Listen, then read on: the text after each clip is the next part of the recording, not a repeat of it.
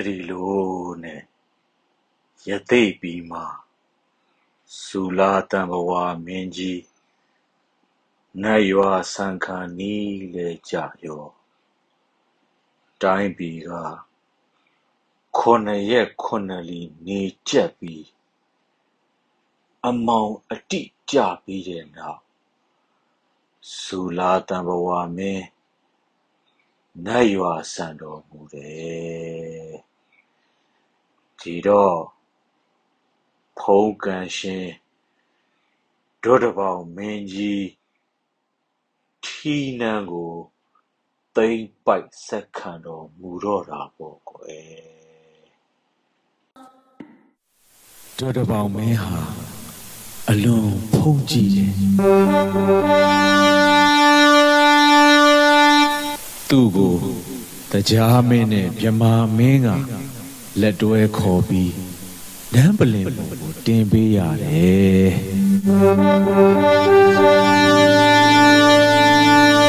တရားမင်းကသီလဝန္တာဓာစကြအရိဏမလန်ဆက်ကြနာလာဂီရိစင်ဆက်ကြဝလာဟကမြင်းဆက် ကြပဇင်းဖြူပဇင်းညိုလူဆက်ကြလို့ဆက်တာရာကြောင့်ဆက်ကြငါးပါးပိုင်ဆိုင်သောမဲ့ရှင်တော်ဖြင့်အတုမဲ့ခေါင်ဒွတ်တပေါင်းမင်းဘွဲ့အမိခံလေကွယ်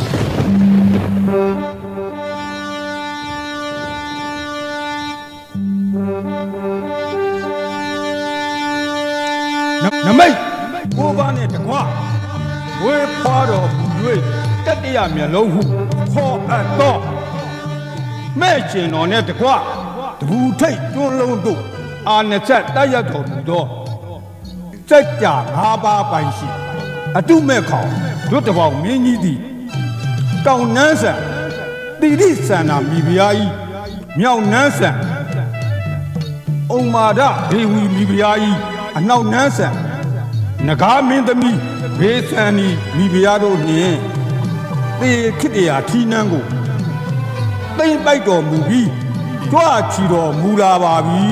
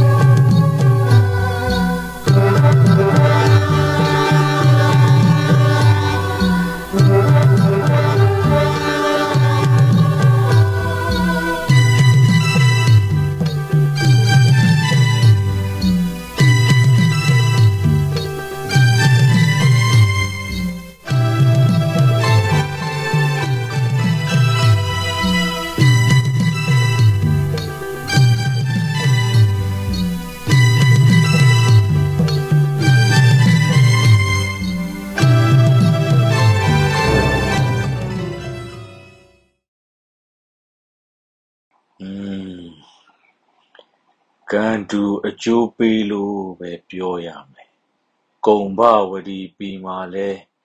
ကုံဘဝတီမင်းကြီးဟာသမီးတော်ပန်ထရာမင်းသမီးကိုဗိဿနိုးပြည်ကြီးထူထောင်ရေးအတွက်ပျိုထောင်ပေးနေစဉ်မှာပဲရုတ်တရက်နာမကျန်းဖြစ်ပြီးနတ်ရွာစံတော်မူရှာတယ်။အဲဒီအခါ ဗိဿနိုးအိမ်ရှေ့စံ ပန်ထရာ မင်းသမီးလေးဟာဗိဿနိုးထီးနန်း အရိုက်အရာကို